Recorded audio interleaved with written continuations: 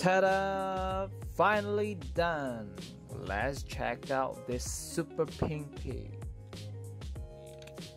The ears can go up and down and a little bit of front and back so that allows you to create different kind of expressions. The head can rotate 360 degrees. Yeah, okay. So the hands can go up and down and the feet can go in and out and in. It's pretty nice. You have a rotatable tail. Okay, yeah, shock face.